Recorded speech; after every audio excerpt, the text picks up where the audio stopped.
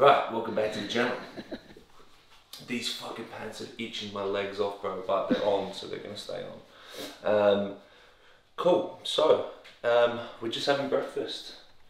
We're gonna train today, but uh, week one of prep starts this week, I fucking can't wait because I'm sick of being fat. Oh Um, so is that again?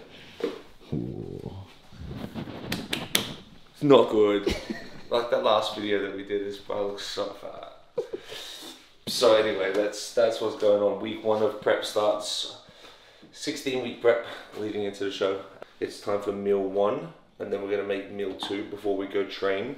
Um, Josh will be training with us today, aka Smokes, um, and we are going to do a chest and arm session. Then we're gonna have a bit of physio, maybe do a bit of posing again because I need to redeem myself. Um, and that's kind of it. It's just, oh yeah, we're gonna go for a haircut. We need a haircut. That's why we've got a hat on this morning. Um, cut to the next scene of eating.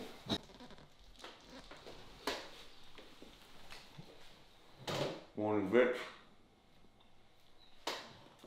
Straight down gullet. I'm gonna get breakfast in. I'm not very hungry. It's very early, and I went to bed very late, like a naughty boy last night. I've had five hours sleep, and I'm s- my last meal was like eleven thirty, so I'm really not hungry. Appetite is dropping, but we have like three days left. Wait, what's today? Wednesday. Yeah. We actually have one day left. Get in. Oh no, I start out on Friday. Um, but anyway, um, I wanted to talk about why I got into why I'm I'm competing. Now, originally I started this journey to increase my knowledge and experience, um, to give my clients more. Um, and the deeper and deeper I've got into this, I want to fucking win. I didn't put much expectation on myself. And now I'm just like, no first time has beaten. No chance. It's not happening. And if it does, you'll never see the evidence. Um, I'm just a very competitive guy. Um, and after seeing Joe Gann win at the weekend, it just in- inspired me even more. So that guy never misses a beat, and you can expect the exact same from me. And it's pretty cool that me and also Ben Brake, my coach, is also going through prep at the same time, and he'll be back in July, which is kind of cool. We'll be going through that together. But less of the boring shit. Let's get this food done and um, get on with the day. For the purpose of this video, these are now freaking freezing.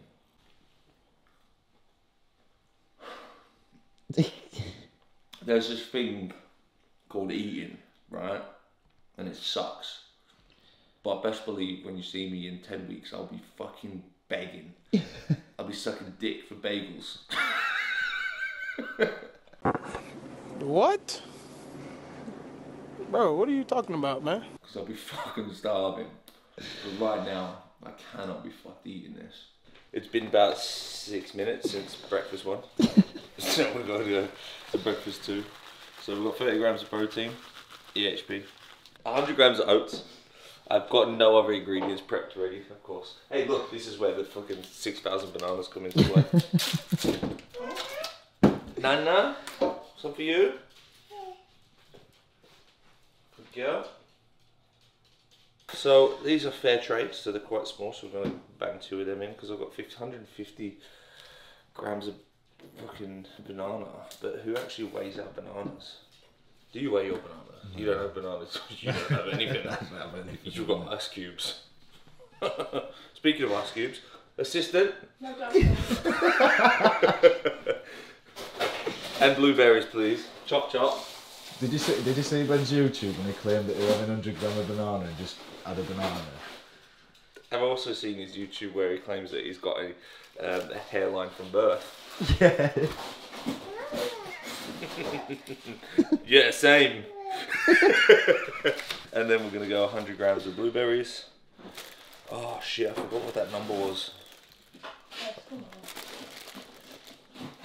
Look, when it comes to life, I'm a very jokey guy, not too serious.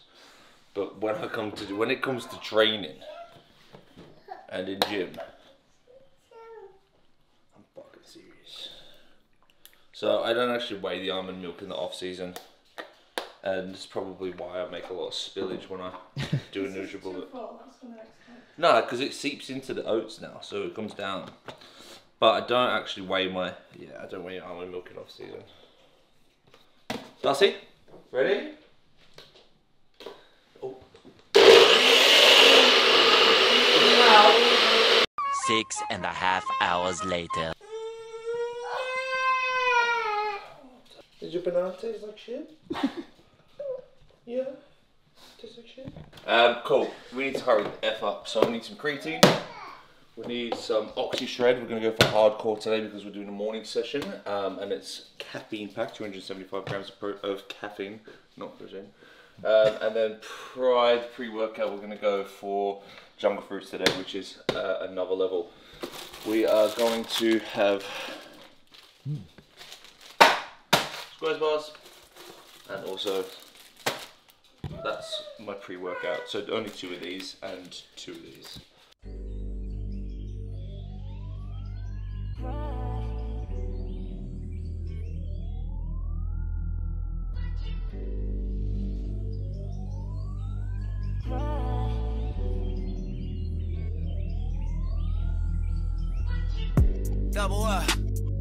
Three times, I ain't telling no lies, I just run it up.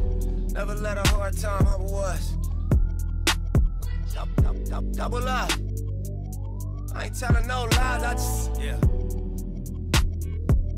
I ain't telling no lies, I just.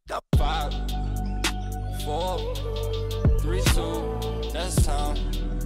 I got to you that money, my dreams. Just like that. Five years younger. This is fucking piss. Don't buy it. It's absolute garbage. Makes you drive fast, that one. Yeah, but I don't need. I've already got nine points on my license. fucking insurance is fucking four thousand pound a year. Um, but you know, what Go Local hasn't got a fucking white monster? I know. That's, Anyway. that's the first place I've ever been that's had every monster bought a white one. Garbage. Um, got my eyebrow slit in again. Rapid. Well, let's head to S20. Train. Big arms and no chest and arms. So let's go. Let's go. This is. Is it Jungle Juice? Jungle fruits. Jungle Juice, everything else. Jungle juice. So it's a taste test. Let's do it then. Try It's a double shot with a small amount of water, so it's going to be quite strong. That's not bad actually. Even though it's double shot.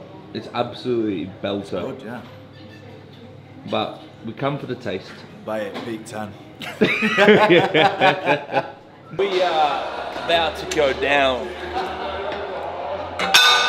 Chest and arms. I don't train in this gym, so I'm not going to bother logging today. So I'm going to train to feel, and I'm just going to make it up as I go. So it's not going to be my normal session, but it's going to be good for Josh because he's dieting really bad right now. So what we don't want to be doing is using free weights and you know risking injury there. Um, so everything will be nice and fixed in, um, and we will be able to still get a good pump for him, um, and obviously for me, still make progress on my training. We're going to start on the Atlantis incline plate press. Uh, we're going to start off with just a few sessions to get the shoulders warm, bit of blood to the muscle. Then we're going to start loading, uh, and then back off. So let's get into Got a little bitch from the hood, I call her gang, she don't play with that base shit. I be fucking this NBA nigga bitches, you know I ain't never gonna say shit. New contract big like I play ball, little boy ain't nothing to play with. I told her pull up, she told me she can't, her nigga be sharing location. I was riding in the ghost with a ghost gun, seen you out with your kids, so you old one. And my man in the can while you taking out the trash, you gon' pop with the mat like don't run. Eat food, kids. Eat food. Eat your food. From time to time, I don't show no emotion. But when he died, he had them racks, he had to make a go for him. I hang with the hitters who train the killers who send all the niggas on slow run. I got me a check and I brought me a cat and I went on the block and they know nuts. I hang with all the murderers, I'm paying all the way for the murderers. That got heavy quick. but we never sacrifice form. Rolls Royce swerving, famous bitch curving. Seen you out in traffic, you was looking nervous. Ran it up on accident, they thought it was on purpose. I know for a fact I'm blasting mine, I never get too worried. 100 racks and 100 stick like Chris.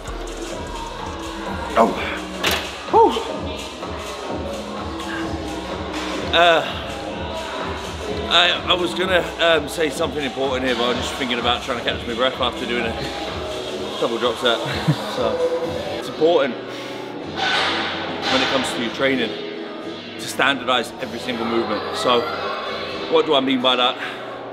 Every rep should look identical in terms of tempo, in terms of uh, form, in terms of accuracy. Now, obviously, when you're starting to reach fatigue, your concentric time is going to slow down dramatically because you're fighting that fatigue. But your form should never disappear.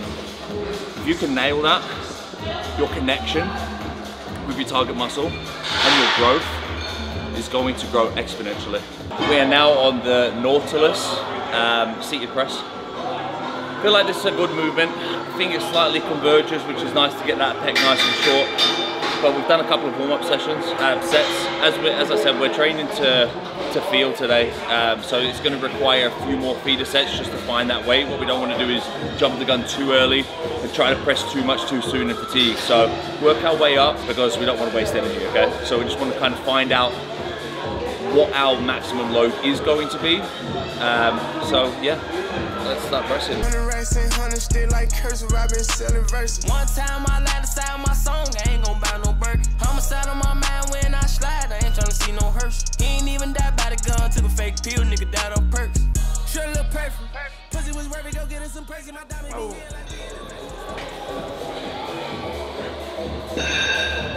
One of the biggest issues that I see with people lifting is coming out the hole too soon. There's a lot of using, I believe the word's inertia. You come in and then boom, kind of use that momentum to get that weight back up, what you want to do is sit in that hole for a second essentially and then drag it through your chest instead of kind of coming out explosive where you're gonna not have as much tension on the muscle. So sit into it and then from here it's just literally just drag forward. So if I drop the weight, this is what we're seeing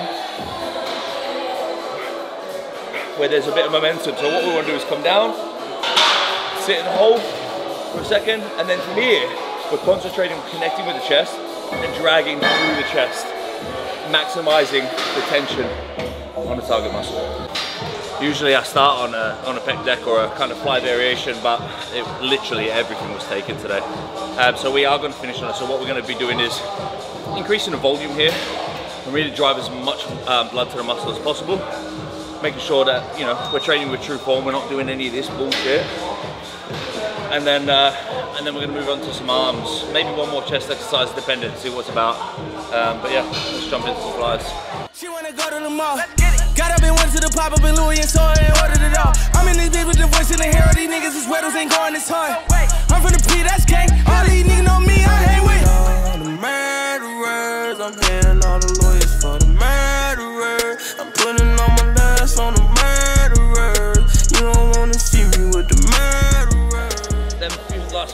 Got very, very heavy very quickly, but never once will you see me doing this because once you start crab clawing or having that hugging motion, you're taking away any tension that was applied to the chest here. So I want to get our elbows pretty much to meet, get our bicep across our chest, get it nice and short, and then control that eccentric. When we're here, tension goes straight to bicep. Just rest my bicep on there like that. Just going into some bicep. Yeah, it looks bigger there, yeah. Um, bicep curls, we're going to be doing them, uh, the preacher machine was taken, so everything that I want today is gone.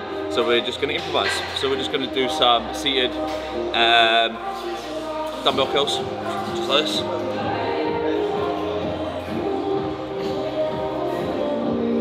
The reason why I like this movement here, and just like I do with the preacher curl, is you're fixed in, okay? So when we're standing up, we tend to start swinging or leaning back and this assists us with getting that weight up. So when we're nice and fixed in here, there's no possible movement unless you're coming like this but you're fixed in and you're just driving. What I also like is the range of motion. There's a lot more than what you would get by standing up. So by then coming out to side like this, up, all the way down because your body's not in way, and then just driving up. And now that is a little bit too heavy. Are you dieting or something, bro? I'm dying. Dieting. no, dying. Yeah. Morgs, give him some fucking carbs, lad. Hang on, I gotta zoom in on that bit.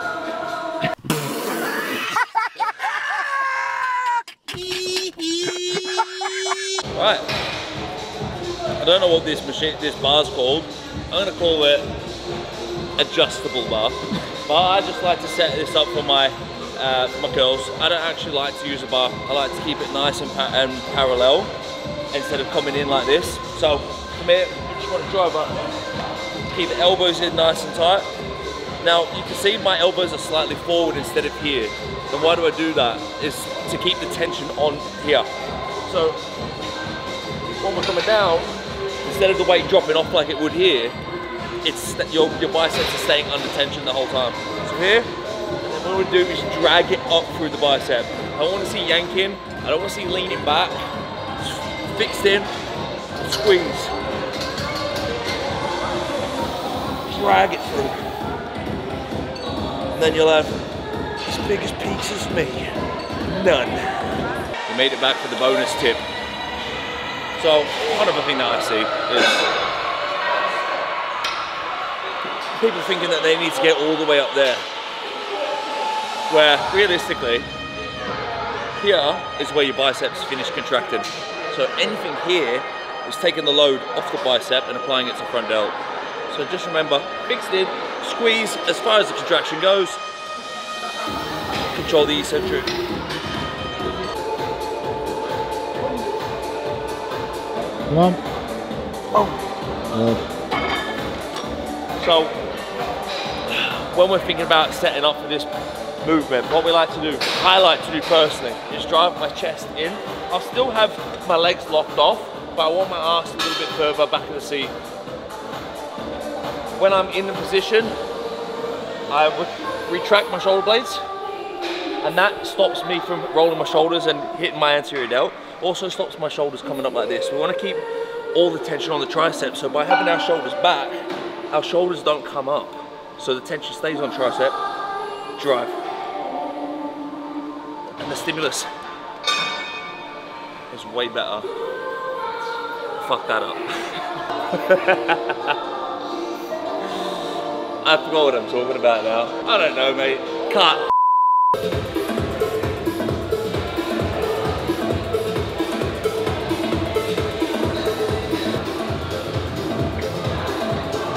Yes. Oh. And again.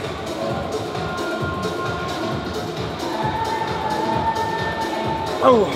Uh, key talking points with an overhead extension. Embrace the core. But when we're coming back, what we want to make sure is we're fully lengthening our tricep here because that's where we're going to be most challenged. And then as we're contracting, want to make sure we're dragging through here, not pushing with our shoulders. So we're going to keep our shoulders nice and low, drag through the tricep, and then control that eccentric. And then your triceps are going to be as big as that guy's.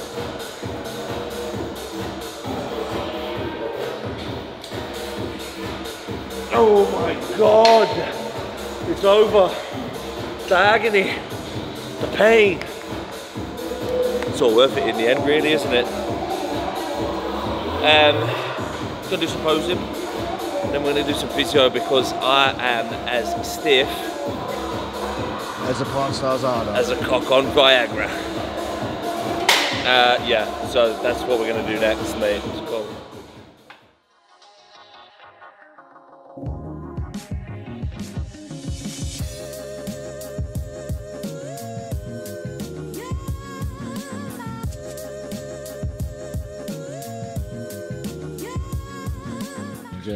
Spending money on getting battered by a dude. It's not even that painful. This is one of them massages that you're never that bothered about an happy ending, isn't it? Yeah, just get the fuck off me, mate.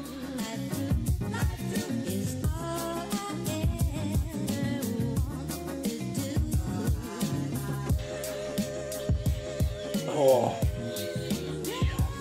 Ah. it's fucking bad. It's important though. Hey.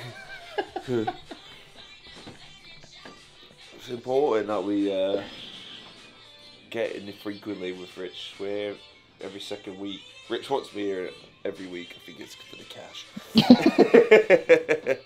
but um, in every second week leading into the show, just to make sure that we're loose, even though we're I don't think we've even got any looser yet. This body is fucking not moving. Um, it's just going to allow me to hit my shots better as well. One thing that we do really struggle with is trying to hit that back double bi. Um, my shoulder rotation is fucking awful. Um, we need to get that over so we can actually see the zero peak that I've got. Um, so that's one area that we're trying to work on as well. But the whole body's pretty much fucked, eh, Rich? Yeah, but you'll find that once you drop that initial four or five kilo, Yeah. that things will change very, very quickly within your mobility and stuff like that, tightness. Yeah. You know, as soon as you get that, that initial weight off, you'll be a different person. Especially because you've come in and had regular treatment as well. Yeah. And obviously you're pausing in peak off season on 6,000 calories, you know, you're doing all the right things, so it's going to be a big beneficial to you. Yeah.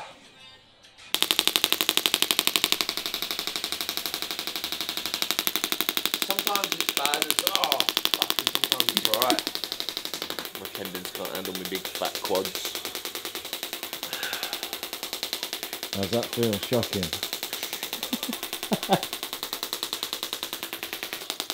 Ah! Oh, that fucking IT band. Yeah. That's a mother that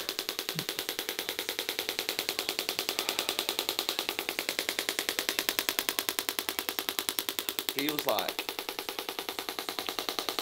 oh, that fucking sh- like somebody's really slapping you with a lot of elastic bands, rapid. It's not nice. And then that's like the shockwave bit, but then it goes like intramuscular or tendon or whatever the fuck it is, and then it's another ache. And then it shoots down into insertion point, doesn't? Yeah, right then it did it all. Shoots into your knee. Now it feels like needles, that one. Oh. And I don't do needles.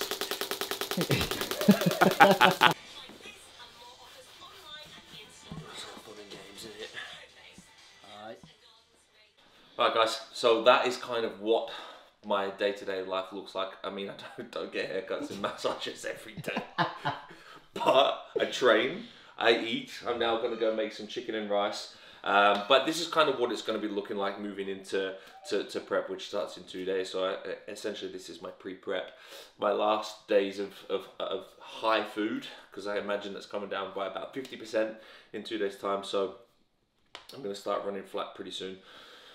But uh, yeah, we'll keep you posted. We're going to be doing a um, prep series, so keep your eyes out for that. I'll be doing vlog style videos as well, so I'll probably do two YouTubes a month, one with Smokes and then one by myself. Um, but I hope you guys enjoyed that. I hope you took something away from that. If not, I hope you enjoyed watching me in pain with Rich. Um, until then, I shall see you on the next one.